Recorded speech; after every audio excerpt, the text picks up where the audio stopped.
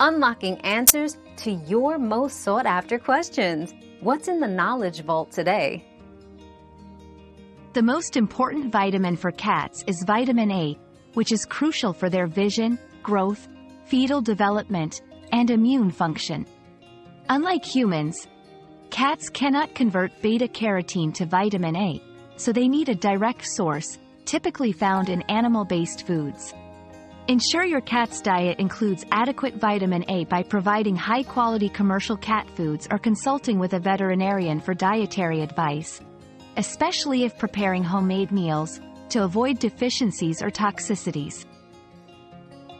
Your daily dose of discovery ends here, but the journey of learning never stops. Subscribe and join us again for more answers tomorrow.